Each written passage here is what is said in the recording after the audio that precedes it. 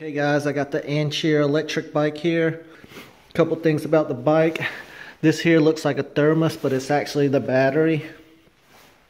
Comes with this charger over here. It's got a light on it. When it's uh, red, it's charging. When it's green, it's done. It's done. I checked the voltage a while ago with that multimeter right there. And it puts out uh, almost 42 volts.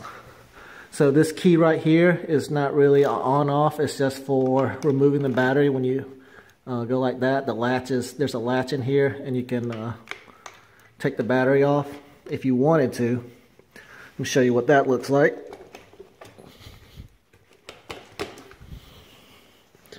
There it is and the connections there. UPS damaged it here because the front of the wheel rubbed against that and a little bit on this battery and a little bit right here. This handle, there was actually a hole in the box of the UPS. So so far, that's the only thing I found wrong with it. On off button right here. This thing has a couple modes. Let me turn it on. To turn on the bike, you can't, you press on right here, but then you also have to hold down this mode button and that'll light up. So you have three modes right here.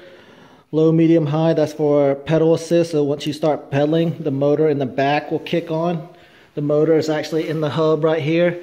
And this this cable right here goes to down here into this box, which is I guess the control box because it knows when you're pedaling.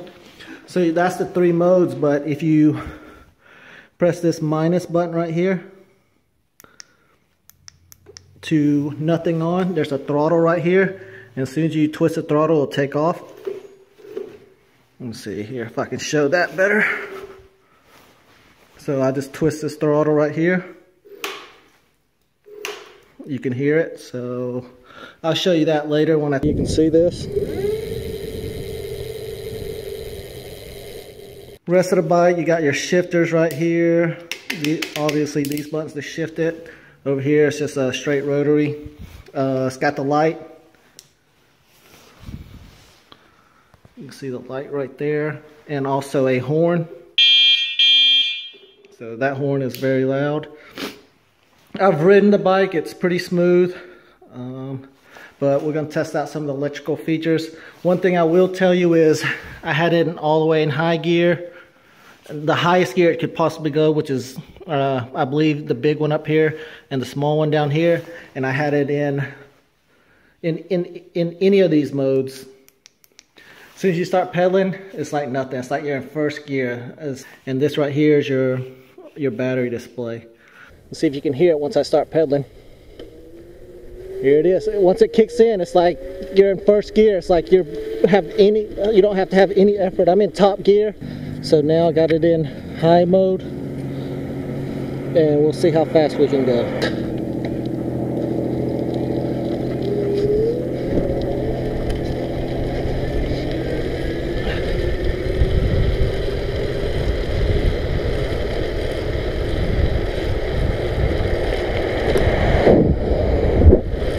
So I'm going about 20 miles an hour based on what the GPS says. That's me pedaling it with the motor activated setup going on. And I'm gonna switch it to uh, throttle mode. Since this is a mountain bike, we'll go off-road.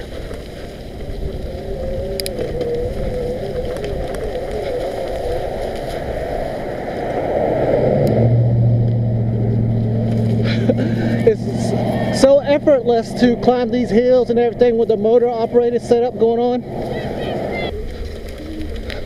Makes it so easy when I got the, when I can just twist the throttle and go.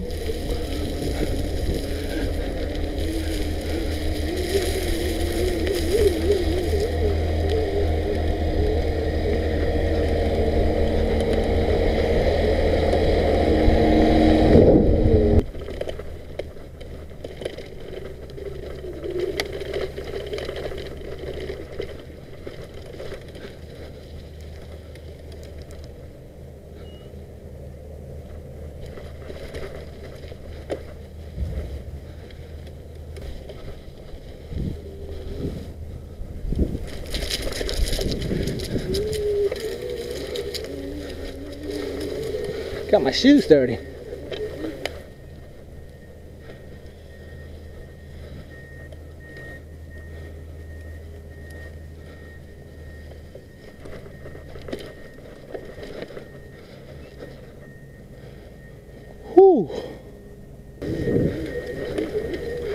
You can hear me using the motor to help me go over this type of terrain here.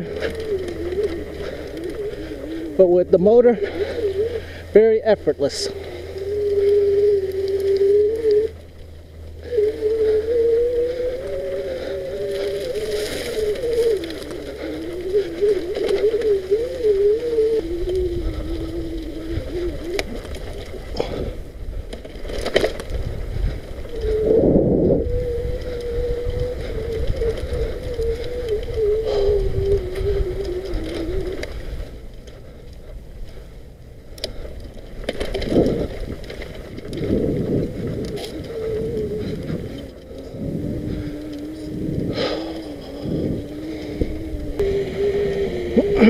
We have a pretty good uphill here, so I don't know if you can see it, but I'll turn around let you look what it looks like. Turn around. See that?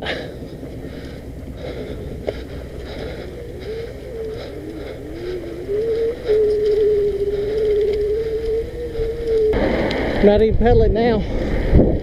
Just cruising. Whew, tired let this motor do some work.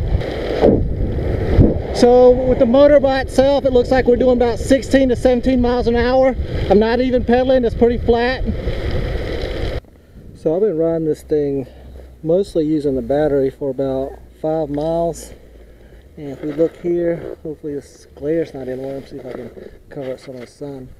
We've only used one bar of uh, battery power. Here's the front forks. They have that, uh, I guess is a shock system.